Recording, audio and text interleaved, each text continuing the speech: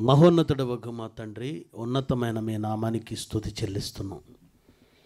సుదీర్ఘకాలం అనంతరం ఈ ఎండపల్లి ప్రాంతంలో మీ పిల్లలను మీరు నిలవబెట్టుకొని మీ మాటను మీ పిల్లల ఎదుట వినిపించాలని మీరు ఆశపడ్డారు. మీ మాట కొరకు మీ పిల్లలంతా ఎదురు చూస్తున్నారు. ప్రతి హృదయమును వెలిగించండి మీ జీవవాక్యంతో నింపండి. అర్థం చేసుకున్నట్టుకు తగిన జ్ఞానమును మీ పిల్లలకి ఇవ్వండి.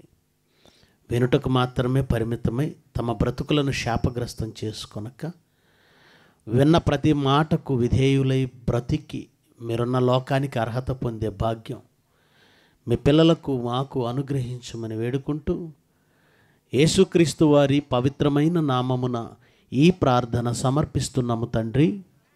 ఆమెన్. భువిపై తుది శ్వాస పాతాళంలో నరఘోష ఆత్మల ఘోష. భువిపై తుది శ్వాస తుది శ్వాస. ఈ భూమి మీద మనం జీవించడానికి మొదటిగా కావలసింది ఏది అని అడిగితే గాలి. ప్రాథమిక అవసరాలు ఏవి? మనిషి బ్రతకడానికి అనగానే పిల్లల పాఠ్య పుస్తకాలలో కొన్ని రాశారు. ఆహారము నీరు వస్త్రాలు గాలి. ప్రాథమిక అవసరాలు ఆహారము నీరు వస్త్రాలు ఇల్లు. అన్నిటికంటే ముఖ్యమైనది ఏంటో తెలుసా? గాలి. ఊపిరి. ఆహారం లేకుండా యాభై రెండు రోజులున్నాడు పొట్టి శ్రీరాములు. మన ఆంధ్రప్రదేశ్ కోసం ప్రత్యేక ఆంధ్ర కావాలి అని. అంటే ఆహారం లేకుండా కొన్నాళ్ళు ఉండొచ్చు. నీరు లేకుండా రెండో ఒక రోజు రెండు రోజులు ఉండొచ్చు. కానీ గాలి లేకుండా మనిషి ఉండడం కష్టం. తల్లి గర్భము నుంచి ఈ భూమి మీదకు వచ్చిన మనిషికి మొదటిగా కావాల్సింది ఏంటి అంటే తల్లి పాల కంటే ముందేం కావాలి? గాలి కావాలి. ఆ గాలి అతని నాసికారంధ్రంలోనికి వెళ్ళకపోతే చనిపోతాడు బిడ్డ. అంటే అన్నిటికంటే మొదట ఈ భూమి మీద బ్రతకడానికి కావాల్సింది ఊపిరి. శ్వాస. ఈ మధ్యకాలంలో చాలామంది దేవుణ్ణి కానీ దేవుని కార్యములు కానీ అసలు పట్టించుకోకుండా బ్రతుకుతున్నారు. వాళ్ళు బ్రతకడం వెనక వాళ్ళ బ్రతుకు వెనక దేవాతి దేవుడు ఉన్నాడన్న నిజం వినడానికి విని ఆలోచించటానికి మనసును పెట్టడానికి చాలామంది ఎందుకో మనస్కరించటం లేదు. మా బ్రతుకుని ఇలా బ్రతకనివ్వండి ఇచ్చిన జీవితాన్ని ఉన్న జీవితాన్ని మేము ఎంజాయ్ చేస్తూ బ్రతుకుతాం. మాకు ఇష్టమైనట్టుగా బ్రతుకుతాం. సంతోషంగా బ్రతుకుతాం. ఇలా దేవునికి దూరంగా తమ జీవితాలను గడుపుకోవడానికి ఇష్టపడుతున్నారు. కానీ ఒక క్షణం ఆలోచిస్తే వారి బ్రతుకులు దేవుని చేతిలోనే నడుస్తున్నాయన్న నిజం తెలిసిపోతుంది. ఆలోచిస్తే మీరంతా ఈరోజు ఆలోచించే వాళ్ళు గనుకనే ఇక్కడికి వచ్చారు. మీరంతా ఆలోచించగలరు గనకనే దేవుడు మీకు చెప్పాలనుకున్నాడు గనకనే తన పిల్లలను రేపాడు. ప్రేమైన దేవుని పిల్లలారా ఈ భూమి మీద మనిషి వేటికో వేటికో వేటికో ధర చెల్లిస్తూ ఉంటాడు. డబ్బు వెచ్చిస్తాడు. బంగారానికి డబ్బు వెచ్చిస్తాడు. కార్లకు డబ్బు వెచ్చిస్తాడు. స్థలాలకు డబ్బు వెచ్చిస్తాడు. పొలాలకు డబ్బు వెచ్చిస్తాడు. ఆహారానికి డబ్బు వెచ్చిస్తాడు. నీటికి డబ్బు వెచ్చిస్తాడు. కానీ గాలి దీన్ని ఎవరు కొనడం లేదు. దీనికి ఎవరు డబ్బు వెచ్చించరు. కానీ ఇది ఎంత విలువైనదో ఎంత విలువైనదో దేవుడు ఒక మూడు సంవత్సరాల క్రితం మనకు తెలియచేశాడు. ఎలా? మొత్తం కరోనా. చుట్టూ గాలి ఉంది. లేదా గాలి ఏమైనా ఏమంటే కరోనా అప్పుడు గాలి ఏమైనా లేకుండా పోయిందా? మన చుట్టూ గాలి ఉంది కానీ అది ఎందుకు మనలోకి వెళ్ళటం లేదు. మన చుట్టూ గాలి ఉంది గాలి అనగానే చాలా రకాల వాయువుల సమ్మేళనం చదువుకున్న పిల్లలకి తెలుసు. గాలి అంటే ఆక్సిజన్ ఉంటుంది కార్బన్ డైఆక్సైడ్ ఉంటుంది హైడ్రోజన్ వాయువు ఉంటుంది నైట్రోజన్ వాయువు ఉంటుంది. చాలా రకాలు. అందులో మనకు కావలసినటువంటి ఆక్సిజన్ శాతం కొంచెం మనకు దగ్గరగా ఉన్న ఈ వాతావరణంలో మనకు అవసరమైనది ఎక్కువ ఉంటుంది. మనం పీల్చడానికి వీలు లేని వాయువులు ఉన్నాయి. కార్బన్ డైఆక్సైడ్ ఎక్కువ పీల్చేస్తే ఏమవుతాం? చచ్చిపోతాం. మనం పీల్చలేని గాలు వాయువులు ఈ గాలిలో ఉన్నా మనకు అవసరమైంది ఆక్సిజన్ ఆ ఆక్సిజన్ మనలోనికి వెళ్ళి బయటకు వచ్చేస్తుంది. వెళ్ళి బయటకు వచ్చేస్తుంది. వెళ్ళి బయటకు వచ్చేస్తుంది. దాన్ని పెద్దగా ఎవరు మనసును పెట్టలేదు కానీ ఓ మూడేళ్ళ క్రితం మాత్రం ప్రతి ఒక్కడికి ఒక ఒక దాని విలువ తెలిసింది. అదేంటో తెలుసా? ఆక్సిజన్. ఆక్సిమీటర్లు చూడడం ఆక్సిమీటర్ వేలుకి ఇలా పెట్టేవాళ్ళు. దానిలో తొంభై నాలుగు క్రిందకి చూపించింది రీడింగ్ అంటే అంతే చని చావు దగ్గరికి వెళ్ళిపోతావు అంటే కరోనా వలన ఊపిరి అందటం లేదు. ఊపిరి. నైంటీ నైంటీ ఫైవ్ అబోవ్ ఉండాలి. నైంటీ ఫైవ్ అబోవ్ ఉండాలి. పైన ఉండాలి తొంభై ఐదుకు పైన ఉండాలి ఆ లోపల చూపించిందంటే చావులోనికి వెళ్ళిపోతున్నాం. హాస్పిటల్కి వెళ్ళిపోవటం ఆక్సిజన్ సిలిండర్ పెట్టేయడం చాలామంది చచ్చిపోయారు. కొన్ని లక్షల మంది. ఇప్పటికీ ప్రపంచవ్యాప్తంగా లెక్కలేంటో తెలుసా కరోనాకి? అరవై ఐదు లక్షల మంది చనిపోయారట ప్రపంచవ్యాప్తంగా కరోనా వలన. అరవై ఐదు లక్షల అంటే అవును.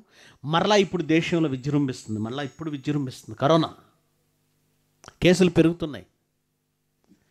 అరవై ఐదు లక్షల మంది ఎందుకు చచ్చిపోయారంటే కేవలం గాలి పీల్చుకోలేక. అదేంటి? చుట్టూ గాలి ఉందిగా? గాలి ఉంది. దాన్ని నువ్వు ముక్కులోనికి ఎందుకు పీల్చుకోవటం లేదు? ఆయన కృప. నువ్వు నిద్రపోతున్నా పని చేసుకుంటున్నా. అయ్యో నేను ట్యాబ్లెట్ వేసుకోలేదు అంటావు మర్చిపోయాను అంటావు కానీ అయ్యో ఒక గంట నుంచి నేను గాలి పీల్చుకోవడం మర్చిపోయాను బయటికి వెళ్ళిపోయి. అంటావా? నువ్వెన్ని పనుల్లో ఉండి మర్చిపోయినా నీ పని అది చేస్తూనే ఉంటుంది. గాలి వెళుతుంది. అక్కడ ఒక సిస్టమ్ పెట్టాడు ఆటోమేటిక్ సిస్టమ్ నువ్వు నిద్రపోతున్నా ఆలోచిస్తున్నా తింటున్నా టీవీ చూస్తున్నా పని చేసుకుంటున్నా చదువుకుంటున్నా ఆ సిస్టమ్ మాత్రం లోపలికి ఆక్సిజన్ తీసుకుంటుంది. నీ బాడీలో ఉన్న ప్రతి పార్ట్కి ప్రతి కణానికి ఆక్సిజన్ పంపిస్తూ ఉంటుంది. అలాంటి ఆటోమేటిక్ సిస్టమ్ దేవుడు పెట్టాడు. నేను దేవుని వల్ల బ్రతకట్లేదు అనుకునే ప్రతి మూర్ఖుడు వినండి. నాస్తికులు కొంతమంది ఉంటారు. దేవుడు లేడు. ఈ మధ్యకాలంలో ఒక అతన్ని కొట్టారు. ఎందుకు కొట్టారు అంటే దేవుడు లేడని మాట్లాడతాడు. కొట్టడం తప్పు కా తప్పని నేను సారీ రైట్ అని నేను అనడం లేదు. కొట్టకూడదు. కానీ అర్థమయ్యేలా చెప్పాలి. చెప్పేవాడు లేడు. కొడితే ఏం ప్రయోజనం? అతను దేవుడు లేడు అనుకొని ఏదో నోటికి వచ్చినట్టు ఏదో మాట్లాడేస్తున్నాడు. కొట్టకూడదు కానీ చెప్పాలి విషయం. గాలి నీలోనికి వెళితేనే నువ్వు బ్రతికుంటావు. ఆక్సిజన్ నీలోనికి వెళితే నువ్వు బ్రతికుంటావు. చుట్టూ ఉంది అది నీలోకి ఎందుకు వెళ్ళలేదు? ఆలోచించు.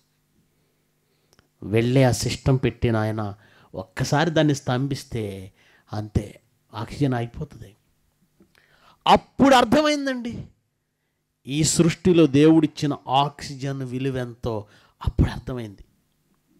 ఆ రోజు నుంచి ప్రారంభించారండి. అప్పటి వరకు లెక్క చూసుకోలేదు. ఇప్పటికీ లెక్క చూసుకోలేదు. నేను చెప్తాను జాగ్రత్తగా వినండి. దేవుడి వలన ఎలా బ్రతుకుతున్నారో దేవుడు మీకు బ్రతికిచ్చినందుకు మీరు ఎంత రుణపడి ఉండాలో ఒక చిన్న లెక్క చెప్తాను. మీ ఇంట్లో వంట చేసుకోవడానికి ఒక గ్యాస్ సిలిండర్.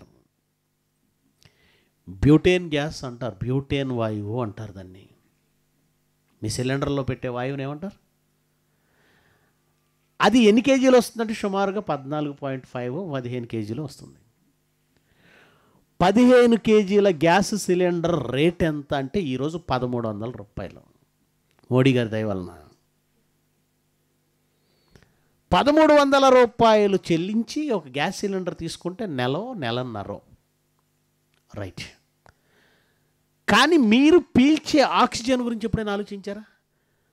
సిలిండర్లో ఉన్నది గాలే అదొక రకమైన వాయువు గ్యాస్. మీ దేహంలోనికి వెళ్ళవలసింది కూడా గాలే అదొక రకమైన వాయువు. ఇది ఆక్సిజన్. ఎంత ఉంటుంది ఆక్సిజన్? అంటే జాగ్రత్తగా వినాలి మీరు పీల్చే ఆక్సిజన్ విలువ. కరోనా వచ్చినప్పుడు ఆక్సిజన్ సిలిండర్ పెడితే ఒక సిలిండర్ ముప్పై వేలు నలభై వేలు యాభై వేలు లక్ష రూపాయలు రెండు లక్షలు మూడు లక్షలు. దేవుడి పనికి ఒక ఐదు వందలు ఇవ్వండి అంటే ఇవ్వని వాళ్ళు ఆ రోజు లక్షలు పట్టి ఆక్సిజన్ సిలిండర్లు కొనిపెట్టేశారు. లక్షల అప్పు తీసుకొచ్చి ఉన్నవమ్మేసి ఎందుకంటే చావంటే భయం. చావంటే భయం మనకి. ఎంత బ్రతికినా ఎందుకో ఈ భూమి మీద మనకు భ్రమ తీరదు ఇష్టం పోదు. ఎప్పుడు చూసే ఊరు ఎప్పుడు చూసే మట్టి రోడ్లు ఎప్పుడు చూసే మొక్కలు ఎప్పుడు తినే తిండేగా? బోరు కొట్టలేదు ఎప్పుడు? తొంభై ఏళ్ళ ముసలిది కూడా "న- దాన్ని హాస్పిటల్కి తీసుకెళ్ళి నేను బతకాలి. ఏం చేస్తావు బతికి? దేవుడు పంపించాడు భూమి మీదకి తొందరగా ఆయన్ని చూడాలి అనే ఆశ ఎవరికి ఉండదండి. ఆహా, వెళ్ళను నేను ఇక్కడే ఉండాలి. భయం ఆ భయంతోనే ఏమండి ఎన్ని లక్షలైన ఆక్సిజన్ సిలిండర్లు కొనిపెట్టేశారు. అప్పుడన్నా కొంచెమన్నా మనిషి ఆలోచించాడు అంటే లేదండి. అందుకే మనిషిని ఆలోచింపచేసే బాధ్యత ఎవరిదంటే బోధకుడిదే. ఆలోచింప చేయాలి. అందుకే ఈరోజు మిమ్మల్ని ఆలోచింప చేస్తాను. ఆశీర్వాదాలు ఇచ్చేస్తాడు దేవుడు. ఇళ్ళు ఇచ్చేస్తాడు పొలాలు ఇచ్చేస్తాడు. ఎగ్జామ్స్ రాస్తున్నారు. టెన్త్ టెన్త్ క్లాస్ పిల్లలు పెన్ను పట్టుకొని రండి నేను ప్రార్థన చేస్తాను. ప్రార్థనకు ఐదు వందలు. అని ఇలాంటి పనికి మాలిన కబుర్లు చెప్పకూడదు సేవకుడు. పిల్లలు చదివితే పాస్ అవుతారు. చదవకపోతే దేవుడు పెన్నులో ఉండాలంటే ఇంకులో ఉండాలంట? ఇంకెక్కడ ఉండొద్దా? ఇంకా నయం లోపల ఉండే పేపర్ నువ్వే లీక్ చేయని అడగలేదు. ఈ దరిద్రులు అది కూడా అడుగుతారు. పేపర్ లీక్ చేయతండ్రి రేపొద్దున ఎగ్జామ్ ఉంది. పెన్నులో ఉండాలా? పేపర్ దిద్దేవాళ్ళు అంటే నేను మాత్రం చదవను. నువ్వే నా చేయబట్టి రాయించు. ఒక్కటేసి సరిగ్గా చదువుకో అని చెప్పాల్సినోడు రా పెన్ను తీసుకుని ప్రార్థన చేస్తా. దానికి ఒక రేట్ అంట. ఇలాంటి నమ్మకండి. సేవకుడు ఎప్పుడు ఆశీర్వాదాలు గుప్పించకూడదు. దేవుడు ఏం చెప్పాడు ఈ సమాజాన్ని మేల్కొలపాలి. అందుకే మిమ్మల్ని ఆలోచింప చేస్తాను. ఒకసారి ఆలోచిద్దామండి ఏమండి ఈరోజు ప్రస్తుతం విజయవాడలో ఆక్సిజన్ రేట్ ఎలా ఉంది అని చూస్తే ఒక లీటర్ ఆక్సిజన్ జాగ్రత్తగా వినండి. లెక్కలు వినండి రాసుకోండి. దేవుడు అంటే ఏంటో అర్థమవుతుంది. మీరు దేవుడికి ఎంత రుణపడి ఉండాలో అర్థమవుతుంది. ఆక్సిజన్ సిలిండర్ లేదా ఆక్సిజన్ ఒక లీటర్ నాలుగు వేల ఐదు వందల రూపాయలండి. ఎంత? Litre oxygen litre oxygen. లీటర్లలోనే చెప్తారులేండి. ఇప్పుడు గ్యాస్ సిలిండర్ ఉందా? సిలిండర్ పద్నాలుగు కేజీలు. ఇటు చూడండి ఇటు చూడండి అమ్మా ఏం చూస్తున్నారు? అంటే ఎవరు పోయినా చూస్తుంటారా మీరు? అలా అయితే వెనక్కి కూర్చోండి ఎందుకంటే నా కాన్సన్ట్రేషన్ దెబ్బతీయకూడదు మీరు. మీరు అటు ఇటు చూస్తే నా కాన్సన్ట్రేషన్ దెబ్బతింటుంది ఒక లీటర్ ఆక్సిజన్ నాలుగు వేల ఐదు వందల రూపాయలు. మనం నిమిషానికి ఎంత ఆక్సిజన్ పీలుస్తామో తెలుసండి నిమిషానికి ఏడు లీటర్ల ఆక్సిజన్ పీలుస్తామండి. ఎంత పీలుస్తాం? ఏడు లీటర్లు. ఒక లీటర్ ఆక్సిజన్ నాలుగు వేల ఐదు వందలు అయితే ఏడు లీటర్లు ఎంత? ఎంత? ముప్పై ఒక్క వేల ఐదు వందలండి. నిమిషానికి ఏడు లీటర్లు పీలిస్తే వా దాని రేట్ ఎంత అంటే ముప్పై ఒక్క వేల ఐదు వందలు. అంటే నిమిషానికి నువ్వు పీల్చే ఆక్సిజన్ రేట్ ఎంత? ముప్పై ఒక్క వేల ఐదు వందలు. మరి గంటకి ఎంత అంటే గంటకు గంటకు అరవై నిమిషాలు కదండి. నిమిషానికి ఏడు లీటర్లు అయితే అరవై నిమిషాలకి నాలుగు వందల ఇరవై లీటర్లు పీలుస్తాం. గంటకు మనం ఎంత పీలుస్తున్నాం? నిమిషానికి ఏడు లీ ఏడు లీటర్ల లెక్కన గంటకు ఎంత పీలుస్తున్నాం? నాలుగు వందల ఇరవై లీటర్లు పీలుస్తున్నాం. గంటకు నాలుగు వందల ఇరవై లీటర్లు అంటే నాలుగు వందల ఇరవై ఇంటూ నాలుగు వేల ఐదు వందలు. ఎందుకంటే లీటర్ నాలుగు వేల ఐదు వందలు కదా. నాలుగు వేల ఐదు వందలు ఇంటూ నాలుగు వందల ఇరవై లీటర్లు వేస్తే పద్దెనిమిది లక్షల తొంభై వేల పద్దెనిమిది లక్షల తొంభై వేలండి. గంటకు నువ్వు పీల్చే ఆక్సిజన్ విలువ ఎంతో తెలుసా? పద్దెనిమిది లక్షల తొంభై వేలు. ఒక రోజుకైతే ఏం లేదు పద్దెనిమిది లక్షల తొంభై వేలు ఇంటూ ఇరవై నాలుగు వేయండి. పద్దెనిమిది లక్షల తొంభై వేలు ఇంటూ ఇరవై నాలుగు వేస్తే నాలుగు కోట్ల యాభై మూడు లక్షల అరవై వేల రూపాయలు. అంటే ఒక రోజు నువ్వు పీల్చే ఆక్సిజన్ విలువ నాలుగు కోట్ల యాభై మూడు లక్షల అరవై వేల రూపాయలు ఒక్క రోజుకి. నాలుగు కోట్ల యాభై మూడు లక్షల అరవై వేలు. మరి సంవత్సరం కంటే మూడు వందల అరవై ఐదు రోజులు. ఒక రోజుకు నాలుగు కోట్ల యాభై మూడు లక్షల అరవై వేలు అయితే నాలుగు కోట్ల యాభై మూడు లక్షల అరవై వేలు ఇంటూ మూడు వందల అరవై ఐదు. ఎంత? పదహారు వందల యాభై ఐదు కోట్ల. సంవత్సరానికి పదహారు వందల యాభై ఐదు కోట్ల అరవై నాలుగు లక్షలండి. పదహారు వందల యాభై ఐదు కోట్ల అరవై నాలుగు లక్షలు. ఏంటిది?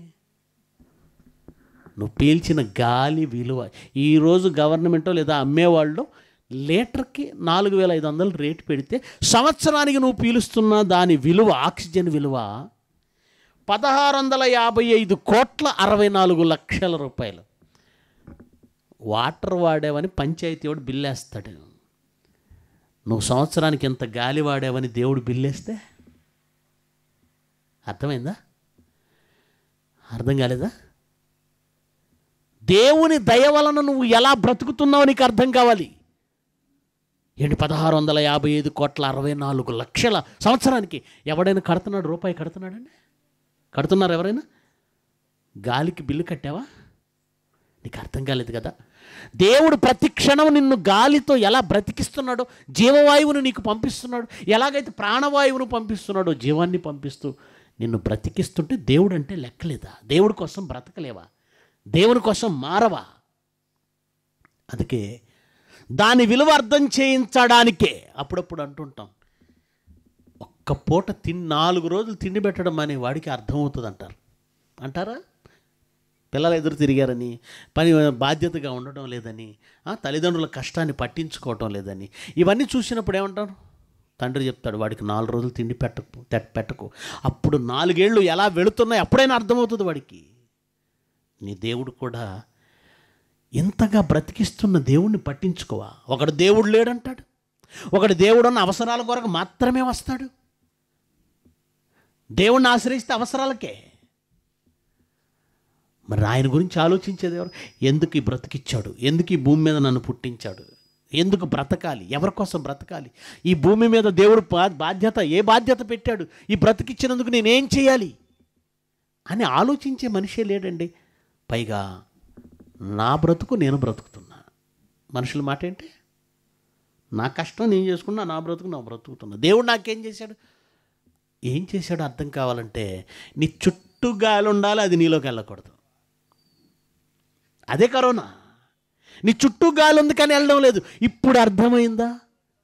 ప్రకృతిని చేసిన దేవుడు ప్రకృతిలో ఉన్నవి నీ దేహంలోకి వెళ్ళడానికి కూడా ఏర్పాటు చేశాడు. ఆయన తలుచుకుంటే నీ చుట్టూ గాలి ఉన్న దాన్ని నువ్వు పేల్చలేవు. అదే కరోనా దానివల్ల ఆక్సిజన్ లెవెల్స్ పడిపోయినండి ఆక్సిజన్ లెవెల్స్ పడిపోయినండి ఆక్సిజన్ లెవెల్స్ పడిపోయినాయండి. అంతే. అరవై ఐదు లక్షల మంది చచ్చిపోయారు. ఏమండి లెక్క వేరినప్పుడు ఈ లెక్క చూసినప్పుడు నా గుండెలు పగిలిపోయండి ఏంటి ఇన్ని కోట్ల? సంవత్సరానికి పదహారు వందల యాభై ఐదు కోట్ల అరవై నాలుగు లక్షలైతే ఇప్పటికే డెబ్బై ఏళ్ళు బ్రతికిన వాళ్ళు ఉన్నారు ఎన్ని కోట్లు? యాభై ఏళ్ళు బ్రతికిన వాళ్ళు ఉన్నారు నలభై ఏళ్ళు బ్రతికిన వాళ్ళు ఉన్నారు ఈ లెక్కన మీరు రేట్లు వేసుకోండి ఒకసారి. ఎంత చెల్లించాలి దేవుడికి? ఒక గాలికే ఎంత చెల్లిస్తే నీరు ఆహారం సూర్యుడు ఎంత చెల్లించాలి? అందుకే భక్తుడైన యోబు ఏమంటున్నాడు ఒకసారి చూస్తారా? యోబు గ్రంథం ఇరవై ఏడో అధ్యాయం మొదటి వచనం. యోబు గ్రంథం ఇరవై ఏడవ అధ్యాయము మొదటి వచనం. యోబు ఇంకను ఉపమాన రీతిగా ఇట్లా నేను నా ఊపిరి ఇంకను నాలో పూర్ణముగా అంటే ఫుల్గా ఊపిరి దేవుడు ఫుల్గా ఇచ్చాడు అందరికీ. కరోనా లేదు కదా. అంటే నీ ఊపిరి పూర్ణము పూర్ణము అంటే పూర్తిగాని కరోనా ప్రారంభమైంది అనుకోండి ఆ ఊపిరి అందకుండా చేస్తుంది అది వైరస్. ఊపిరితిత్తులలోనికి ప్రవేశించి ఊపిరితిత్తుల వ్యవస్థను పాటు చేస్తుంది. అందుకే నీ ఊపిరితిత్తుల లోపల అలా పీల్చుకుంటూ ఉండాలి. అలా ఎక్స్పాండ్ అయినప్పుడు గాలి లోపలికి వస్తుంది. నీకు తెలియకుండానే లోపలికి ఎందుకు గాలి వెళ్తుంది?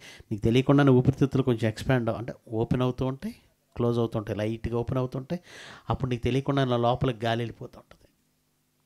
ఆ సిస్టమ్ను దెబ్బతీయడానికి కనిపించని ఆ వైరస్ లోపలికి వెళ్ళిపోయిందండి. దెబ్బతీస్తుంది. దేవుని కృప వలన ఇప్పటి వరకు ఏ బాధ లేకుండా బ్రతికిన నీకు దేవునికి కృతజ్ఞతగా బ్రతకాలన్న నిజం గుర్తుకు రానప్పుడు దేవుడి ప్రపంచానికి ఇచ్చినటువంటి చిన్న శిక్ష అందులోనే శిక్షణ కరుణ. కరోనా దాని వలన దేవుడిచ్చే ఊపిరి విలువ. ఆలోచిస్తే అర్థమవుతుంది. కానీ ఎందుకో ఎంత జరిగినా ఇన్ని లక్షల మంది చచ్చిపోయినా మరలా అది తిరగబెడుతుందంటే కారణం దేవుడు చెప్పిన పాఠం చాలామందికి ఎక్కలేదు. తలకెక్కలేదు. మళ్ళీ అదే పాపం మళ్ళీ అదే ఇష్టానుసారమైన జీవితం మళ్ళీ అదే ఇష్టానుసారంగా ఈ భూమి మీద వ్యవహరించడం బ్రతకడం. ఎందుకు మనిషికి ఇష్టం ఉండదండి దేవుడు అంటే దేవుని కోసం కాలాన్ని వెచ్చించడం దేవుని కోసం ప్రాణాన్ని ఇవ్వలేం. దేవుని కోసం చిన్న పని చేయలేం. అందుకే నీ ఊపిరి నీలో పూర్ణంగా ఉందా? ఉందా? ఉందంటే దేవుడి కృతజ్ఞతస్తుతులు చెప్పు. ఆయన కోసం బ్రతుకు. దేవుడు ముందే చెప్పాడండి కరోనా గురించి ముందే చెప్పాడు తెలుసా? కరోనా వస్తేనండి నిజంగా సొంత భార్య దగ్గరికి వెళ్ళకూడదు. సొంత బిడ్డ దగ్గరికి వెళ్ళకూడదు. అయిన వాళ్ళ దగ్గరికి వెళ్ళకూడదు. స్నేహితుల దగ్గరికి వెళ్ళకూడదు. ఎవరు ఎవరి దగ్గరికి వెళ్ళరు కరోనా వస్తే? నిజంగా ఆ రోజుల్లో చూడాలండి. యాడ్లో ఒకటి క్లోజప్ యాడ్ అట దగ్గరగారా ఏది కరోనా వచ్చిన వాళ్ళ దగ్గరగా ఇల్లు? అవి జల్లవి ఇప్పుడు. దేవుడు ఏం రాయించాడు ఒకసారి చూడండి. యష్యా గ్రంథం. ఇది దేవుని ఉగ్రత అని ఈ ప్రపంచానికి ఎవరు చెప్పటం లేదండి. ఇది దేవుని ఉగ్రత దేవుని కోసం బ్రతకని మనిషి. ఇష్టానుసారుడుగా పాప భూయిష్ఠుడై ఈ పాపలోకంలో ఇష్టానుసారంగా బ్రతుకుతున్నటువంటి మనిషికి బుద్ధి చెప్పడానికి దేవుని ఉగ్రత ఈ రూపంలో వచ్చింది. యషయా గ్రంథం ఇరవై ఆరవ అధ్యాయం ఇరవై ఒకటో వచ్చిన ఏం చెప్తున్నాడు చూడండి. యషయా గ్రంథం ఇరవై ఆరో అధ్యాయం ఇరవై ఒకటి. నువ్వు వెళ్ళి నీ అంతఃపురములలో నీ నీ ఇంట్లోకి వెళ్ళిపో నీ గదిలోకి వెళ్ళిపో నీ అంతఃపురంలో ప్రవేశించు. నువ్వు వెళ్ళి నువ్వు తలుపు వేసేసుకో. ఉగ్రత తీరిపో వరకు దాగి ఉండు. దేవుని ఉగ్రత ప్రపంచం మీదకి వచ్చినప్పుడు లోపలికి వెళ్ళు తలుపులు వేసేసుకో గవర్నమెంట్ చెబితే దాన్ని ఏమన్నా లాక్డౌన్. మొదటి లాక్డౌన్లో నుండి ఫస్ట్ లాక్డౌన్లో బయటకు వస్తే పోలీసులు కొట్టారు కదా. ఇరక్కొట్టుడు కొట్టేశారు. ఏ? వీడొస్తే పది మంది కంటిస్తున్నాడు విజయవాడలో నుండి ఎవరో మహారాష్ట్ర నుంచి లారీ వేసుకొని వచ్చేసాడు ఈ- న్యూస్ ఇవన్నీ పట్టించుకోరండి వీళ్ళు. మూర్ఖత్వం ఉంటుంది వీళ్ళకి. మాకే తెలుసు అనుకోండి. ఎక్కడి నుంచో వచ్చాడు ఇక్కడికి వచ్చాడు ఏమంటే ప్యాక్ ఆడాడంట ఏమంటే మందు షాప్కి వెళ్ళాడంట హోటల్కి వెళ్ళాడట ఇంటికి వచ్చి పడిపోయాడు. చూర తీరా చూస్తే మహారాష్ట్ర నుంచే తెచ్చుకున్నాడు అయ్యగారు.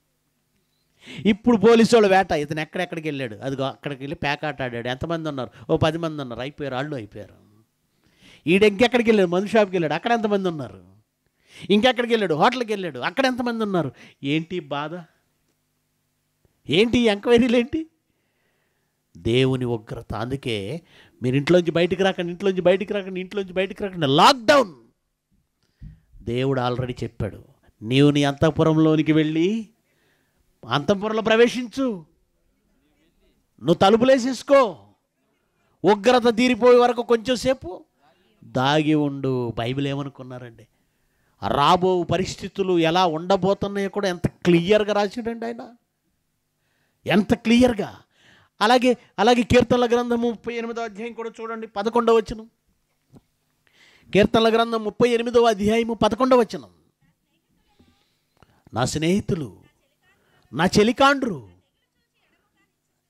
ఏ రోగాన్ని చూసి ఎడంగా నుంచుంటారండి ఏ తెగులు? కరోనా. ఏ తెగులు చూసి దూరంగా ఉన్నారు? కరోనా. అదే కదండి ఏ తెగులైనా దూరంగా ఉండరండి. చివరికి ఎయిడ్స్ వచ్చినా ఏమంటారంటే డాక్టర్లు పర్వాలేదు ఎయిడ్స్ వ్యక్తితో మీరు సన్నిహితంగా ఉండొచ్చు కలిసి భోంచేయచ్చు షేక్ హ్యాండ్ ఇవ్వచ్చు కలిసి జీవించవచ్చు అతని బట్టలు వేసుకోవచ్చు ప్రాబ్లం లేదన్నారు. కానీ ఎవరికి దూరంగా ఉండమన్నారు? కరోనా. చెప్పారా? నా తెగులు చూసి ఈ తెగులు దేవుడి ఉగ్రత వలన వచ్చింది నా తెగులు చూసి నా స్నేహితులు దూరంగా నిలుచున్నారు ఎడంగా నిలుచున్నారు. నా బంధువులు దూరంగా నిలుస్తున్నారు. దూరంగా నా తెగులు చూసి అందరూ దూరం దూరం దూరం దూరం దూరం.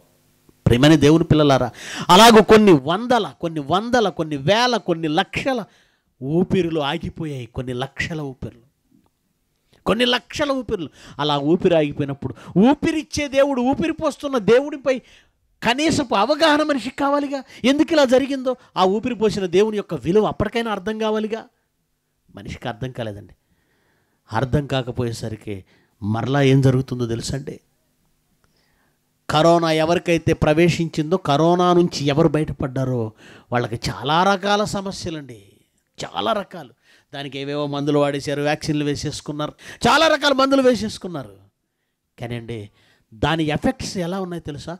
ఈ మధ్యకాలంలో చిన్న చిన్న కుర్రాళ్ళు ఇరవై ఏళ్ళు ఇంకా దాటని వాళ్ళు అలా ఎగురుతూ ఎగురుతూ ఉన్నారు టప్పును పడిపోతున్నారు. నడుస్తూ నడుస్తూ ఉన్నారు టప్పును పడి మాట్లాడుతూ మాట్లాడుతూ ఉన్నారు టప్పును పడిపోతున్నారు. ఒక టీచర్ తెనాలలో కూర్చొని ఉన్నాడు టప్పున పడిపోతున్నాడు. ఏంటంటే అందరూ cardiac arrest cardiac arrest cardiac arrest అంటే గుండె అరెస్ట్ అయిపోయిందట ఆగిపోయింది. ఏమండి తుండు బుక్కలా ఉన్నాడు నలభై ఆరేళ్ళు ఎవరు? పునీత్ రాజ్ కుమార్ బంతిలో ఎగురుతున్నాడు కానీ అలా కూలిపోయాడు. ఎందుకలా అయిపోయాడు? వయసు పెద్ద వయసు ఏం అదే నలభై ఆరేళ్ళు మొన్న తారకరత్న అలాగే పట్టుకొని అలా కూలిపోయాడు. ఇలా ఎంతోమంది ఈరోజు చిన్న చిన్న కుర్రాళ్ళు ఎందుకు ఇలా అయిపోతున్నారు? నీ ఊపిరి తుది శ్వాస ఎప్పుడవుతుందో తెలియదు. ప్రేమని దేవుని పిల్లలారా ఎన్ని చూసిన తర్వాత కూడా మనకు ఒక మొండి ధైర్యం ఉంటుంది. అమ్మా దగ్గర కాదుగా. మా ఊర్లో కాదుగా. నాకెందుకు వస్తుంది? తుది శ్వాస ఎవరికి ఎప్పుడు నీ శ్వాస తుది శ్వాస ఎప్పుడవుతుందో ఎవరు చెప్పలేరు. చెప్పగలవా? మీ జీవం ఏపాటిది కొంతసేపు కనబడి అంతలోనే మాయమయ్యే ఆవిరి తుదిశ్వాస ప్రిలరా చనిపోయేటప్పుడు ఎవరినైనా ఎప్పుడైనా మీరు గమనించారేమో? గమనించుంటే మీకు అర్థమవుతుంది. అలా ఒక్కసారిగా నోరు తెరిచి బలంగా ఊపిరి వదిలేసినట్లుగా కొంతమంది. కొంతమంది అలా నోరు తెరిచి కొంతమంది. గట్టిగా లోపలికి పీల్చి కొంతమంది. కొంతమంది ఏమీ లేదు అలాగే పడిపోవటం. ఆ క్షణాన వాడు పీల్చిన లాస్ట్ గాలి లేదా ఊపిరి అది తుదిశ్వాస. తుదిశ్వాస అది ఎప్పుడు ఎవరికి అవుతుందో జరుగుతుందో చెప్పలేం. ఆరోగ్యంగా ఉన్న వాళ్ళేనండి ఏ రోగం లేని వాళ్ళేనండి. అలా ఉండి పడిపోతున్నారు. అలాగే ఉండి పడిపోతున్నారు. నిలబడి పడిపోతున్నారు. ఎప్పుడు ఏ ఆరోగ్యం పరంగా ఏ కంప్లైంట్ లేని వాళ్ళు నిలబడి కుర్రాళ్ళండి. వాళ్ళకేంటండి? గుండె నొప్పులు ఏంటండి? అరా కార్డియాక్ అరెస్టులు ఏంటండి? దీనికి రకరకాల కారణాలు. వేసుకున్న వ్యాక్సిన్లోనూ ప్రాబ్లం ఉంది. కానీ దాస్తారండి. గవర్నమెంట్ దాస్తుంది. ఇప్పుడు వ్యాక్సిన్లో ప్రాబ్లం ఉందంటే ఎవరు భరించాలి? ఆ నింద ఎవరు భరించాలి? ఆ బాధ్యత ఎవరు తీసుకోవాలి? గవర్నమెంట్ తీసుకోవాలి కదా. అందుకే డీజే సౌండ్లకు పోయారంటారు. టీ ఏమైనా సినిమా హాల్లో అంతకంటే గట్టి గట్టి సౌండ్లు వస్తాయి. పోతారు ఇల్లు? కారణాలు వేరు కానీ అసలు పరమార్థం ఏంటో తెలుసా? ఎప్పుడు ఎవని గుండె ఎప్పుడు ఆగుతుందో ఎవరికి అది తుది శ్వాస అవుతుందో చెప్పలేం. తుది శ్వాస విడిచాడు అనగానే మన వాళ్ళు ఏం చేస్తారు తెలుసా? తుది శ్వాస విడిచిన పలానా నాయకుడు అనగానే అంతిమయాత్ర ఇప్పుడు? తుది శ్వాస విడిచాడు. ఇప్పుడు ఏం కావాలి? అంతిమయాత్ర. అంతిమయాత్ర. అసలు ఆ పదాలకు అర్థం తెలుసా? అంతిమయాత్ర అంటే మీరేమనుకుంటారంటే శవాన్ని ఇంటి దగ్గర నుంచి శ్మశానానికి తీసుకెళ్తారే క్రైస్తవులు అయితే బాక్స్లో పెట్టి పెట్టి మోసుకుంటూ వెళ్తారు. హైందవ సోదరులు కూడా ఏదో పాడి కట్టు పాడే కట్టి దాని మీద తీసుకెళ్తారు. కొంతమంది ఏకంగా వెహికల్స్ మీద తీసుకెళ్తారు. వాహనాల మీద రాజకీయ నాయకులు అయితే పెద్ద పెద్ద వాహనాలు పెట్టేసి ఏమంటే కొన్ని వందల మందో వేల మందో లక్షల మంది మధ్య ఎక్కడికి శ్మశానానికి తరలిస్తారు. దీన్ని అంతిమ యాత్ర అంటున్నారు. నో. చివరి ఊపిరి వదిలిన క్షణం ఉందే. అప్పటి వరకు అతను బ్రతికింది ఒక యాత్ర. అంతిమంగా అతను చేసిన ఆ ఊపిరి ఉంది అదే అంతిమయాత్ర. ఆల్రెడీ ఆ క్షణంలో ఎక్కడికి వెళ్ళాలో అక్కడికి అతను వెళ్ళిపోయాడు. నువ్వేమనుకుంటున్నావు? శ్మశానానికి తీసుకెళ్ళే యాత్ర అంతిమ యాత్ర అంటున్నావు. అంతిమంగా అతను చేసినటువంటి ఒకే ఒక పని లాస్ట్ ఊపిరి. అదే అదే అదే అదే లాస్ట్. ఇది శవయాత్ర. అతని యాత్ర కాదు. శవయాత్ర మొదటి ప్రసంగంలో విన్నారు కదా? మీరెవరు? శరీరాలు కాదు మీరు ఆత్మలు. శరీరాలలో అప్పటి వరకు నివసించిన మీరు ఒక క్షణంలో ఊపిరి ఆగిపోగానే తుదిశ్వాస ఆగిపోగానే తుదిశ్వాస తుదిశ్వాస జరగగానే చివరి శ్వాస పీల్చగానే వదలగానే ఒక్క క్షణంలో శరీరం నుంచి ఆత్మగా నువ్వు నేను బయటకు వచ్చేస్తాం. నువ్వు నేను ఆ శరీరం నుంచి బయటకు వచ్చాం కనుకనే తర్వాత పూడ్చి పెడుతుంటే నాకు అసలే చీకటంటే భయం. నన్ను నేను సమాధిలో పెడుతున్నారు అడుగుతారు ఎవరైనా? నాకు మంటలంటే భయం. తీసుకెళ్ళి నన్ను కట్ల మీద కాల్చొద్దని ఏ శవంలో లేచి మాట్లాడుతుందా? మాట్లాడతా. కట్టెల మీద కాల్చినా మాటలాడటం లేదంటే అందులో ఎవరు లేరో తెలుసా? నువ్వు లేవు. మట్టిలో పెట్టినా మాట్లాడడం లేదంటే అందులో ఎవరు లేరు? ఆత్మ లేదంటే నువ్వు లేవు. తుది శ్వాస పేరుతో దేహాన్ని విడుస్తున్నాం. దానికి మరణము చావు మాట్లాడుతున్నావు. ఏ పేరైనా మాట్లాడు. ఏ పేరుతోనైనా పిలువు దాన్ని. కానీ అది నీ తుది శ్వాస భూమి మీద గాలిని చివరిగా పీల్చే శ్వాస. మరి అది ఆగిపోగానే ఒక్క క్షణంలో ఏమవుతామో తెలుసా? చూడండి ఒకసారి యోగు గ్రంథము ఇరవై ఒకటో అధ్యాయము పదమూడవ వచనం. యోగు గ్రంథం. ఇరవై ఒకటో అధ్యాయము పదమూడవ వచనం. మనుష్యులు వారంటే మనుషులు మనమే. ఈ భూమి మీద శ్రేయస్సు ఎవరి స్థాయిలో వాళ్ళు హ్యాపీగా బ్రతుకుతున్నారు? శ్రేయస్సు కలిగి తమ దినములు గడుపుదురు? తుది శ్వాస ఒకే క్షణం. ఒక్క క్షణంలో ఏమైపోవాలన్నాడు? పాతాళమునకు దిగాలి. ఒక్క క్షణంలో పాతాళం. ప్రియమైన దేవుని పిల్లలారా చావంటే ఏంటో అందరు వెళుతున్నారు. మనం ఏదో ఒక రోజు వెళతాం. ఇది మన మనసులో ఉంటుంది అంతే చావంటే ఎవరికైనా వస్తుంది ఎవరైనా చచ్చిపోవాలి అంటాం. చావు పేరుతో మనం కనబడకుండా పోవడం అంటే అసలు లేకుండా పోవడం అయితే బాగుండేదండి. చాలామంది అంటారు ఏముందండి గాలి గాలిలో కలిసిపోతుందండి ఈ జీవుడు గాలిలో కలిసిపోయాడని ఒకడు అంటాడు. ఇంకోటండి ఏముందండి మళ్ళీ జన్మలో పుడతానంటాడు కుక్కగాను నక్కగాను పిల్లిగాను? ఎన్ని పిల్లలు వచ్చాయండి మీ ఇంటికి? పోయిన జన్మలో నేనే మీ తాతనని. ఏ పిల్లైనా వచ్చి చెప్పిందా? ఈ కాకమ్మ కబుర్లు నమ్మకండి. ఏ కుక్క అయినా నేనేరా మీ ముత్తాతని. బావు బావు. ఏ కుక్క మీ తాత గుర్తుపట్టావు? పోని నువ్వు. ఏ గాడిదో మీ అమ్మమ్మ గుర్తుపెట్టావా? తప్పుడు కథనాలండి ఇవన్నీ. ఆత్మ శరీరాన్ని విడిచిన తర్వాత లేకుండా పోతుందనేది అబద్ధం. గాలిలో కలిసిపోతుందనేది అబద్ధం. మీ పైగా వెళుతున్న కరెంటు తీగ తెగితేనే అందులో నుంచి వచ్చే కరెంటు గాలిలో కలుస్తుందా? మరి మనలో ఉన్న సూపర్ పవర్ ఆత్మ అది గాలిలో ఎందుకు కలుస్తుంది? మరో జన్మ ఉంటుంది అనుకోవడం నీ భ్రమ. ఏమవుతుందో తెలుసా? దేవుడు చెప్తున్న మాట. ఒక్క క్షణంలో ఎక్కడికి వెళ్ళాలి? పాతాళానికి. కొంతమంది అమ్మ నరకానికి వెళతావు మారమ్మ అంటే మేము వెళ్తే వెళ్ళాము నువ్వు అక్కడికి ఏదో పరలోకి వెళ్ళినట్టు. నువ్వు ఈ మూర్ఖతను ఏం చేయాలి? రోట్లో పెట్టి నూరిన రోట్లో పెట్టి దంచిన ఈ మూర్ఖుడికి మూర్ఖత? ఒక ఆయన ఒక ఆవిడ అంటుంది మా ఆయన ఎక్కడికి వెళ్తే నేను అక్కడికి వెళ్తాను. అంటే ఆయన నరకానికి వెళ్ళినా? అంటే అక్కడ కూడా విడిపోదా ఈ జంట? ఈ ఆదర్శ జంట ఆది దంపతులు? అదేమన్నా సపరేట్ రూమ్ అనుకుంటున్నావు ఏంటి? నరకం అంటే? అతి ఘోరమైన భయంకరమైన అగ్నిజ్వాలల్లో కేకలతో అరుపులతో భయంకరమైనటువంటి అగ్నిజ్వాలలు అండి అవి. ఎవరు తట్టుకోలేని భయంకరమైన అగ్నిజ్వాలలు. ఒక్క క్షణంలో ఎక్కడికి వెళ్ళాలి? పాతాళం నరకం. ఎందుకనండి ఈ పదాలతో ఎవరు ఎక్కువగా ప్రసంగాలు చేయరండి? చెప్పాను కదండి. చాలామంది ఎలా ఉంటారంటే ప్రజలను సంతోషపెట్టే బోధలు చేస్తారు. పెన్ను తీసుకొని వచ్చానుకోండి. పెన్ను ప్రార్థన ఏంట్రా? సరిగ్గా చదువుకో. చదువుకోనరా. అని పాస్టర్గా నేనే చెప్పాను అనుకోండి ఈ అయ్యగారి దగ్గరికి వద్దు. మరి ప్రార్థన చేసే అయ్యగారు ఎవరు ఉన్నారు అయ్యగారి దగ్గరికి? అది అనమాట మన సైకాలజీ. గనుక మిమ్మల్ని బాధ పెట్టే ప్రసంగాల నుంచి చేయకూడదు పాస్టర్ గారిని. అందుకే నరకం ఉంది. చస్తారు జాగ్రత్త మారండి. అని ఈరోజు చెప్పేవాళ్ళు లేరండి. చెప్పవలసినది అదే ఎందుకంటే ఏ క్షణాన మీ ఊపిరి చివరిగా తుది శ్వాస అవుతుందో ఏ క్షణాన ఈ దేహము నుంచి ఆత్మ వెళ్ళిపోతుందో తెలియనప్పుడు జాగ్రత్త పడాలా వద్దా? జాగ్రత్త పడాలి. కన్ను మూస్తే క్షణంలో పాతాళానికి వెళుతున్నాం. చాలామంది చచ్చిపోతే శ్మశానానికి వెళ్తారనుకుంటున్నారు. అక్కడేం పని?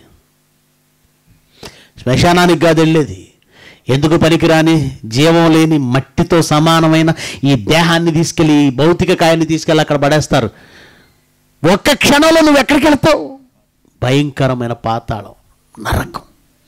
అదేంటో మీకు కనుక అర్థం కాలేదండి మనకి. అదేంటో అర్థం కాలేదు. ఘోష అక్కడ ఏముందో తెలుసండి? ఘోష. ఘోష ఘోష అంటే లారీల వెనక ఆటోల వెనక కొన్ని కొన్ని చిన్న చిన్న మినీ లారీల వెనక. నరఘోష నీకో నమస్కారం అంట.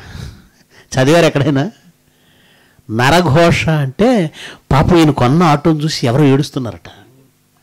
ఘోష అంటే ఏడుపు. ఏంటి ఇంతోటి పెద్ద వెహికల్ని చూసి ఇంకోళ్ళు ఏడవటం? అంటే ఇతను కొన్న ఆటోని చూసి ఈడికి ఆటో ఉంది ఈడికి ఆటో ఉంది ఈడికి ఆటో ఉందని ఎవరో ఆ ఏడిస్తే ఆ ఏడుపుకి వీళ్ళు ఆరిపోతారట.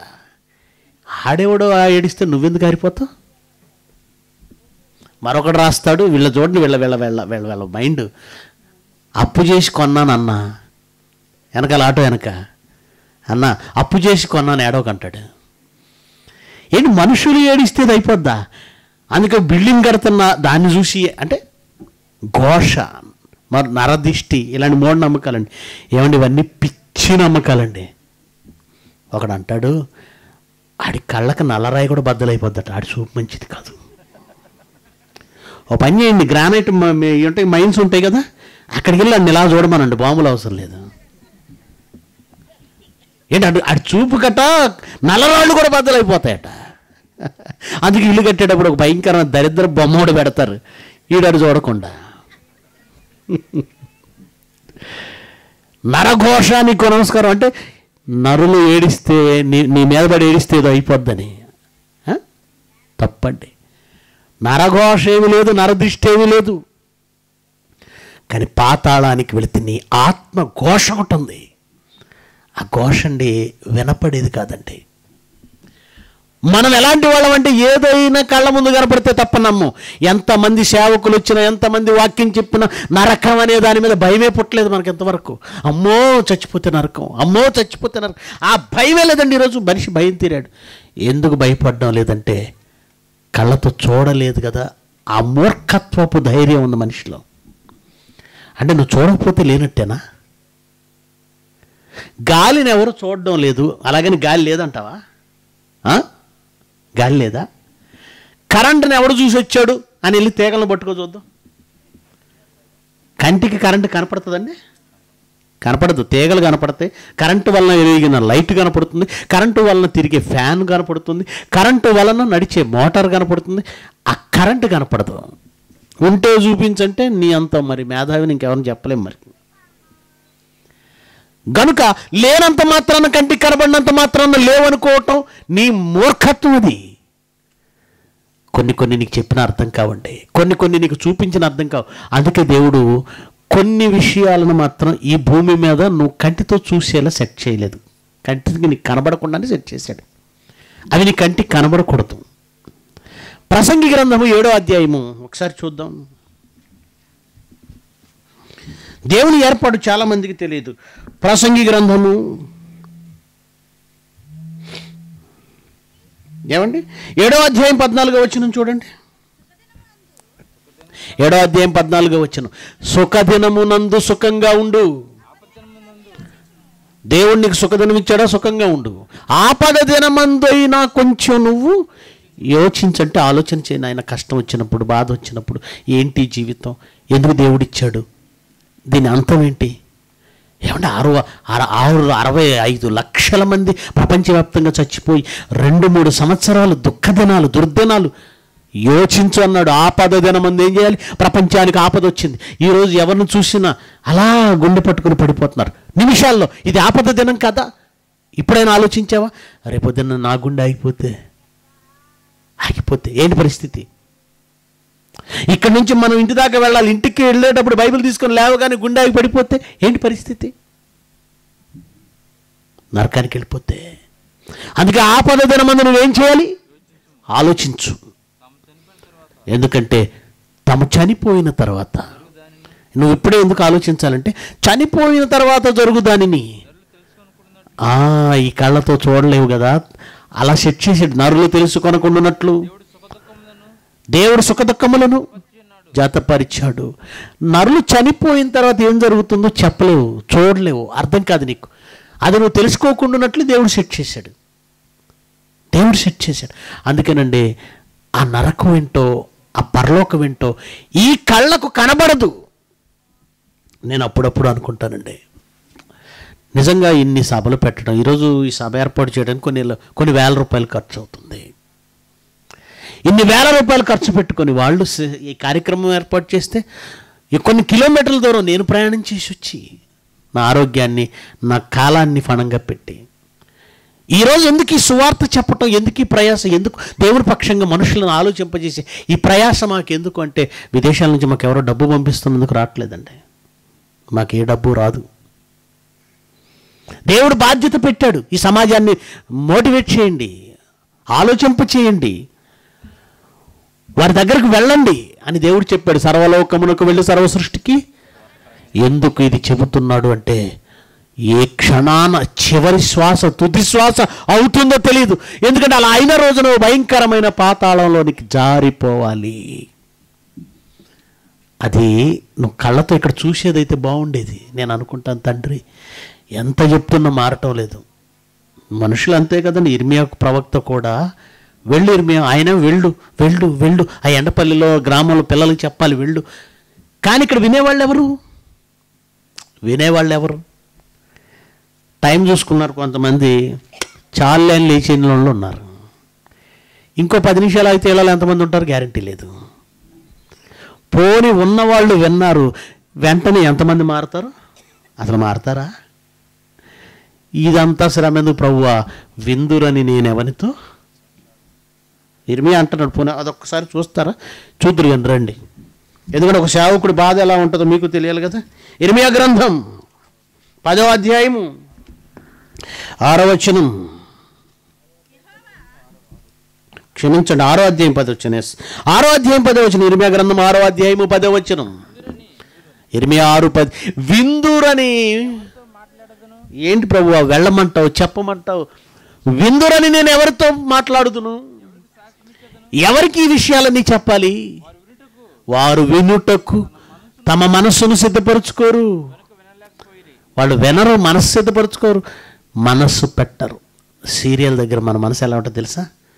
పిల్లలు అరిచారంటే ఒక్కటేస్తాం వీపు విమానం మోత. ఇక్కడ మన చుట్టూ పిల్లలు ఎంత డిస్టర్బ్ చేస్తున్నా మనం ఏం ప్రాబ్లం లేదు. ఎందుకంటే అది మన మైండ్లోకి వెళ్తేగా అక్కడైతే అత్త కొట్టిద్దో కోడలు కొడుతుందో. డైలాగ్ మిస్ అయిపోతాం. పిల్లాడు కీ అన్నా కానీ రే బయటికి పో. ఎందుకు? మనస్సు పెట్టేవాళ్ళు ఎవరు లేరు దేవుని వాక్యం దగ్గర. విందురని నేను ఎవరితో మాట్లాడుదును? ఎవరికి సాక్ష్యం ఇచ్చుదును?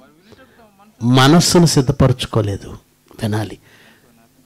ఏంటి పాతాళంలో ఆత్మల ఘోష?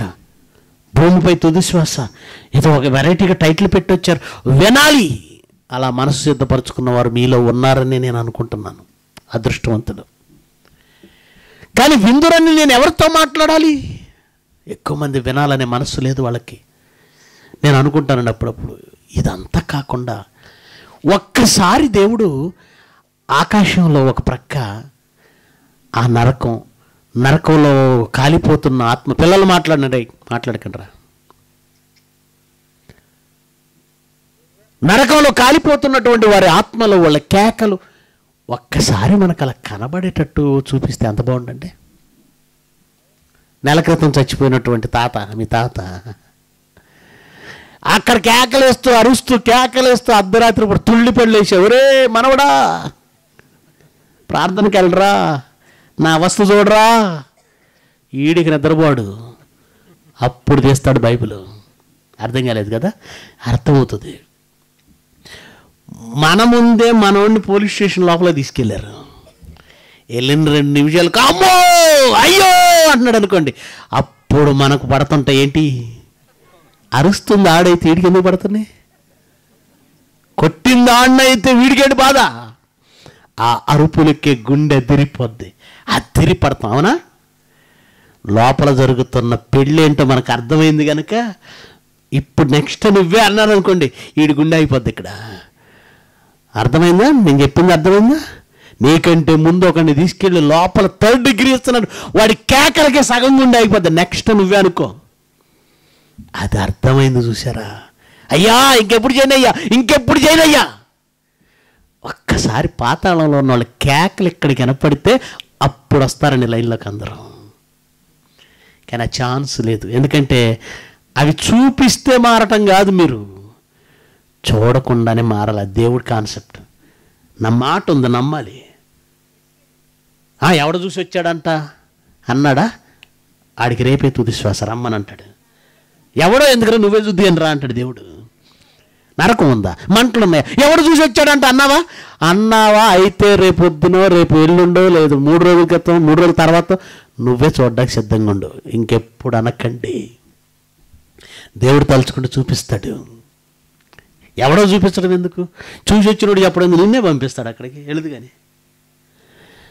మన మన కళ్ళ ముందు పోలీస్ స్టేషన్లో ఏమంటే థర్డ్ డిగ్రీ ఆ కేకలకి నెక్స్ట్ మనం అంటేనే ఆ ఊహ అంత భయంకరంగా ఉంటే ఆ పాతాళంలో ఉన్న వాళ్ళ కేకలు ఒక్కసారి ఒక్కసారి చెవికి వినపడితే ఎంత భయంకరంగా ఉంటుందండి. అది ఘోష. అది ఘోష. అంత పెద్ద ఘోష దేవుడు ఇక్కడికి వినపడనివ్వట్లేదా? వినపడలేవట్లేదండి సైలెంట్. వినబడనివ్వడం లేదు. వినబడితే నువ్వు పడుకోవు వినబడితే నువ్వు పడుకోవు పరలోకమైన పాతాళమైన కంటికి కనబడితే ఎవ్వరు తప్పు చేయరండి. అందరూ మారిపోతారు. కానీ అది కాదు కదా. ఇప్పుడు రాజుగారి మాటకి గౌరవం అంటే ఏంటి? ఎవరక్కడ అని చిటికి వేయగానే చప్పట్లు కొట్టగానే పరిగెత్తుకుంటూ రావాలి. ఎవరో చప్పట్లు కొడుతున్నారు రాజుగారా? సర్లే తర్వాత వెళ్దాం. అన్నాడు అనుకోండి. రాజుగారి మాటకి వాల్యూ లేదు. రాజుగారి మాటకి వాల్యూ లేదు విలువ లేదు. కత్తి తీసుకుని ఎవడరా నేను రమ్మంటే రాలేదని రాజుగారికి మాటి మాటికి కత్తి తీసుకుని బయటికి వెళ్ళాలా? కత్తి చూస్తే తప్ప రాజుగారి దగ్గర చెప్పు ఏంటి కత్తి తీసావా? అని చెప్పు అన్నాడు అనుకోండి. అంటే భయపడుతుందా రాజుగారికా కత్తిగా కత్తిగా రాజుగారికి దేవుడు కూడా అదే. పాతాళం కనబడేలా పెడితే దాన్ని చూసి ఎవడైనా మారతాడు. దాన్ని చూసి మారటం కాదు. ఆయన మాట విశ్వసించి మారాలి. అది. నేను మారను అంటావా? నేను చూడలేదు అంటావా? నాకు కనపడలేదు కదా అంటావా? ఎవడు చూసి వచ్చాడు అంటావా? అయితే నువ్వే చూడడానికి సిద్ధంగా ఉండు. ఎందుకంటే నీ తుది శ్వాస ఎప్పుడో నువ్వు యా, కొంతసేపు కనబడి అంతలోనే మాయమయ్యే ఆవిరి లాంటి వాడివి. ఆవిరి. ఏమంటే రాత్రి వేళ ప్రశాంతంగా ఉన్నప్పుడు కొన్ని కిలోమీటర్ల దూరంలో ఒకవేళ రైల్వే బ్రిడ్జ్ ఉందనుకోండి సౌండ్ ఎలా వినపడదు దడ దడ దడ దడ దడ దడ దడ దడ దడ దడ దడ విజయవాడ నుంచి మంగళగిరి పదిహేను కిలోమీటర్ల దూరం ఉండే రైల్వే బ్రిడ్జ్ కానీ రాత్రి వెళ్ళండి విజయవాడ బ్రిడ్జ్ మీద వెళుతున్నటువంటి అస్సా ట్రైన్ సౌండ్ మాకు స్పష్టంగా వినపడుతుంది మిడ్ నైట్ దాని శబ్దమే కొన్ని కిలోమీటర్లు దాని శబ్దం అలాంటిది పాతాళంలోనికి వెళ్ళిన వారి కేకలు భూమి మీదకు వినబడతాయి వినబడతాయి కానీ దేవుడు వినబడకుండా సౌండ్ ప్రూఫ్ చేసాడు ఆ కేకలు ఇక్కడికి రాకుండా. ప్రేమని దేవుని పిల్లలారు అక్కడికి వెళితే ఉండే ఆ భయంకరమైనటువంటి అగ్నిజ్వాలల్లో నీ కేకలు ఎప్పటికీ ఎప్పటికీ ఎప్పటికీ ఆగని భయంకరమైన కేకలండి తుది శ్వాస ఎప్పుడు తెలియదు. ఆ భయంకరమైనటువంటి ఆ ఘోషలోనికి వెళ్ళిపోతే ఎంత భయంకరమో నీకు అర్థం కావట్లేదు. యశాగ్రంథం ఐదో అధ్యాయము. యశాగ్రంథము ఐదో అధ్యాయము పద్నాలుగో వచ్చిన చదవండి. అందుచేతనే పాతాళము గొప్ప ఆశ పెట్టుకొని తన నోరు తెరుచుచున్నది. పాతాళానికి ఏముందట? ఆశ అపరిమితముగా గొప్ప ఆశ ఉందట. పాతాళానికి గొప్ప ఆశే కరోనాను పంపిస్తున్నాడు దేవుడు. ఈసారి ఎన్ని ఎన్ని ఎన్ని ఆత్మలు వచ్చేస్తాయి? అరవై ఐదు లక్షలు. అపరిమితంగా నోరు తెరిచిందండి. నోరు తెరిస్తే మాకేంటి ప్రాబ్లం అనుకోకండి. పాతాళం ఎక్కడో ఉండి నోరు తెరిస్తే మాకేంటి ప్రాబ్లం అనుకోకండి. ప్రాబ్లం ఏంటో చెప్పనా? అది మిమ్మల్ని లాగేస్తుందండి. పీల్చేస్తుంది. లాగేస్తుంది. వ్యాక్యూమ్ క్లీనర్స్ అని ఉంటాయి. మీకు ఐడియా ఉందో లేదో వ్యాక్యూమ్ క్లీనర్స్ అని. ఏమండి ఇలా పైప్ లాగా ఉంటుందండి. ఇంట్లోకి ఊడ్చుకునే వ్యాక్యూమ్ క్లీనర్స్ ఉంటాయి. ఈసారి చూడండి. చూడని వాళ్ళు ఎవరంటే యూట్యూబ్లో కొట్టండి వ్యాక్యూమ్ క్లీనర్ అంటే ఎలా ఉంటుంది ఏంటని. ఆ డస్ట్ ఉందనుకోండి దాన్ని ఆ పైప్ అక్కడ పెట్టి ఆన్ చేయగానే లోపలికి లాగేస్తూ ఉంటుందండి. ఆ పైపులోకి లాగేసుకుంటూ ఉంటుంది. ఇంట్లో క్లీన్ చేసుకుని చిన్న వ్యాక్యూమ్ క్లీనర్స్ నుంచి రోడ్లు ఊడ్చేటువంటి పెద్ద వ్యాక్యూమ్ క్లీనర్ డస్ట్ ఉన్న దగ్గర తీసుకెళ్ళి ఆ పైపులా పెట్టగానే మొత్తాన్ని లాగేస్తుంది. పాతాళం కూడా ఈ భూమి మీద ఉన్న మనలను ఆత్మను ఒక్కసారిగా లాగేస్తుందంటే. అపరిమితంగా గొప్పగా నోరు తెరిచేసిందట. అందులో ఎవరెవరు పడిపోతున్నారు చూడండి. గొప్పవాళ్ళు గనులంటే పెద్ద పెద్ద పదవులు అలంకరించిన వాళ్ళు కోట్ల రూపాయలు ఉన్నవాళ్ళు వేల కోట్లు గడించిన వారు సామాన్యులు ఘోష చేయుచున్నారు. ఘోష ఘోష. ఘోష అంటే ఏమండి? ఏడుపు అంటే ఒకటండి. ఏడుపు అన్న ఏడుస్తున్నానంటే ఒక రకం. అల్లాడిపోతున్నారంటే ఇంకొక రకం. ఘోష అంటే ఇక అది వర్ణనాతీతం. ఘోష ఘోష ఘోష. ఏడుపుకు ఏమంటే పీక్ స్టేజ్. అతి భయంకరమైనటువంటి ఏడుపుని ఘోష కేకలు అరుపులు తట్టుకోలేదండి వెళ్ళిన కోటాను కోట్ల ఆత్మలు పాతాళంలో ఘోష చేస్తూ కేకలు వేస్తుంటే వాటి మధ్యకు నువ్వు వెళ్ళబోతున్నావు. ఎందుకు అరుస్తున్నాయి? ఎందుకు అరుస్తున్నాయి అంటారా? దేవుని కోసం అరవై ఏళ్ళు ఇచ్చాడు. డెబ్బై ఏళ్ళు ఇచ్చాడు. ఎనభై ఏళ్ళు ఇచ్చాడు. దేవుడు ఎందుకు ఈ జీవితం ఇచ్చాడో? ఏం చెయ్యాలో? ఏమాత్రం పట్టించుకోకుండా తినడానికి తిండి కట్టుకోవడానికి బట్ట ఉండడానికి ఇల్లు ఆ తర్వాత సుఖంగా బ్రతకడం సంతోషంగా బ్రతకడం. ఇదే ఆలోచించావు కానీ దేవుని కోసం ఏమైనా చేసావా? అవసరాల కోసం అప్పుడప్పుడు గుడికి వచ్చావు కానీ దేవుని కోసం ఏదైనా చేసావా? ఏమీ చేయలేదు గనక భయంకరమైన అగ్ని వెళతావు. వెళతాం అదేంటండి? దేవుడు మనల్ని అలా పంపించేస్తాడు? ఎలా పంపించేస్తాడండి? మనం ఆయన పిల్లలం కదండి. చాలామందికి ఈ లాజిక్ ఒకటి ఉంటుంది. మనం ఆయన పిల్లలమే. కానీ దేవుని కోసం బ్రతకనప్పుడు మనం ఏమవుతుందో తెలుసు? అపరాధముల చేత పాపముల చేత చచ్చిన వారం. బ్రతికుంటే ఆయనకి పిల్లలం. చచ్చిపోతే? ఏమంటే శవం చనిపోయింది. శవం చనిపోయింది. బిడ్డ చనిపోయింది. బిడ్డ శవాన్ని ఇంట్లో పెట్టుకుంటారా? తీసుకెళ్ళి తగలబెట్టేస్తారా? ఏ ఒక తల్లి తన బిడ్డే కదా. ఎందుకు శవాన్ని తగలబెడుతుంది? ఆ శవం తన బిడ్డ కాదు. ఎందుకు ఆ బిడ్డను తీసుకెళ్ళి మట్టిలో పెడుతున్నారు? ఎందుకు పెట్టాలి? ఎందుకు పెట్టాలి? ఆ బిడ్డ నీ బిడ్డ ఆ శవం నీ బిడ్డ. మరి మీ బిడ్డ నీ బిడ్డ ఎవరు? అప్పటి వరకు అందులో ఉన్న ఆత్మ ఉంది నా బిడ్డ వెళ్ళిపోయాడు నా బిడ్డ వెళ్ళిపోయాడు గుండెలు బాదుకుంటాం వెళ్ళిపోయిన ఆత్మ నీ బిడ్డ వెళ్ళిపోయిన ఆత్మ నీ భర్త వెళ్ళిపోయిన ఆత్మ నీ కుమార్తె వెళ్ళిపోయిన ఆత్మ నీ చెల్లి వెళ్ళిపోయిన వాళ్ళు నీ స్నేహితులు వెళ్ళిపోయిన వాళ్ళే ఆత్మ. ఇక్కడ ఉన్నది అది నీ కొడుకు కాదు నీ తండ్రి కాదు నీ భర్త కాదు నీ భార్య కాదు నీ చెల్లి కాదు నీ అన్న కాదు. అందుకే తీసుకెళ్ళి బూడిదలు పెట్టేస్తాం. అంటే మట్టిలో పెట్టేస్తున్నావు కాల్చి బూడిదలు చేసేస్తున్నావు. అంటే చనిపోయిన దాన్ని నువ్వు కాలుస్తున్న బాధపడవా? నీ బిడ్డ నీ బిడ్డ శవమే అది కానీ కాలుతుంటే నువ్వు బాధపడవు. నీ బిడ్డ కాదని. పాపముల చేత అపరాధముల చేత చనిపోయిన మనం పాతాళంలో కాలుతుంటే దేవుడు బాధపడతాడా? బాధపడతాడా? ఏమాత్రం బాధ ఉండదు. మరొక విషయం చెప్తాను. ఏమంటే పెద్ద పెద్ద హాస్పిటల్స్ ఉంటాయి కదా హాస్పిటల్స్. హాస్పిటల్స్లో రోజుకు నాలుగు ఐదు పది ఇరవై యాభై షుగర్ పేషెంట్లు కాళ్ళు తీసేయటం చేతులు తీసేయటం చేస్తుంటారండి. గమనించారు ఎప్పుడైనా? ఎందుకు తీసేయాలి? షుగర్ వచ్చేసి కాళ్ళు తీసేయాలంటారు. ఎందుకు తీసేయాలి? ఆ కాలుకు వచ్చినటువంటి ఆ రోగం తినేస్తుంది. లోపల లోపల లోపల లోపల. దాన్ని అలాగే ఉంచితే మనిషి చచ్చిపోతాడు. మనిషి చనిపోకూడదంటే కుళ్ళిపోయిన ఈ శరీరంలోని భాగాన్ని ఏం చేయాలి? తీసేయాలి తీసేస్తారు. అది నాదే కదండి ఉంచండి అనే అనేవాళ్ళు ఎవరున్నారు చెప్పండి? కుళ్ళిపోయేదాన్ని తీసేయాలి లేకపోతే నువ్వు చేస్తావు. తీసేసిందాన్ని ఏం చేస్తారు? ఎప్పుడైనా గమనించావా? హాస్పిటల్లో ఇలా ఆపరేషన్లు చేసి లోపల ఉన్న ఏమంటారు ఏదో కండ పెరిగిందండి ఇది బల్ల పెరిగిందండి కణిత పెరిగిందండి ఏదో కణిత ఉందండి. ఇలాంటివన్నీ హాస్పిటల్లో కట్ చేస్తారు కదా అవన్నీ ఎక్కడ పడేస్తారు ఎప్పుడైనా ఆలోచించారా? ఊరు బయట ఉన్నటువంటి ఆ- ఆ డస్ట్బిన్లో లేదంటే ఏమంటారు దాన్ని? డంపింగ్ యార్డ్లో అసలు పడేరండి తీసిన కాళ్ళు చేతులు ఇలా కన్ను కావచ్చు లేదా లోపల పేగులు కావచ్చు లేదా కట్ చేసిన కణితలు కావచ్చు. ఒక ఒక ఒక పెద్ద గోడౌన్ లాగా ఏర్పాటు చేసుకుంటారండి హాస్పిటల్లో ఏర్పాటు చేసుకొని అక్కడ ఫర్నేస్ అంటే ఒక పెద్ద కొలిమి లాంటి దాన్ని తయారు చేసి ఈ కట్ చేసిన అవయవాలన్నీ అందులో వేసి కాల్చేస్తారు. అందులో వేసి కాల్చేస్తారు. అయ్యో నా శరీరంలోని భాగం దాన్ని కాల్చకండి అని ఎవడనడండి అది చెడిపోయింది కనుక దాన్ని కాల్చేయటమే రైట్.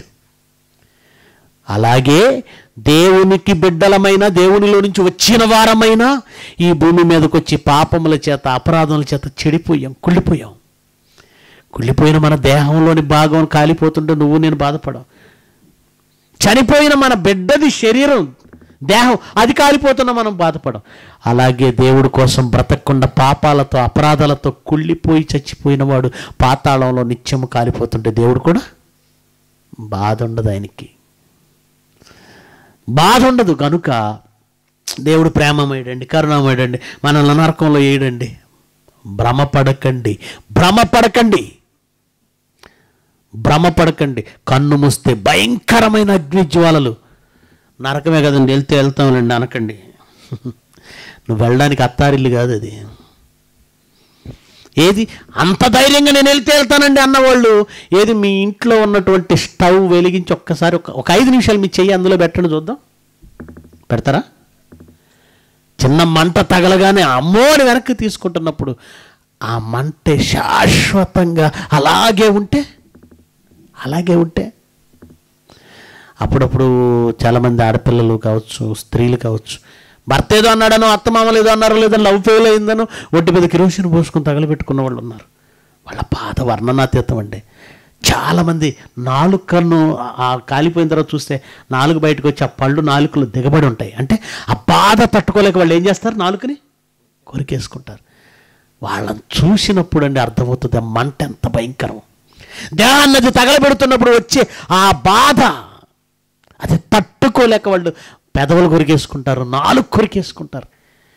ఇక్కడిది చూసావు కదా అదే బాధ రోజు క్షణక్షణం ఎన్ని సంవత్సరాలు? పదా? ఇరవయా? యాభైయా? వెయ్యా? రెండు వేల పదివేల? కోట శాశ్వతంగా అదే బాధ అదే బాధ అదే బాధ అదే బాధ. ఇప్పుడు చెప్పండి మేము వెళ్తాం నరకాని అన్నవాళ్ళు ఇప్పుడు చెప్పండి.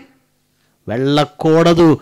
నువ్వు అందులోకి వెళ్ళకూడదు. అందుకే దేవుడు నువ్వు అందులోకి వెళ్ళకూడదనే ముందుగానే హెచ్చరిక చేస్తున్నాడు.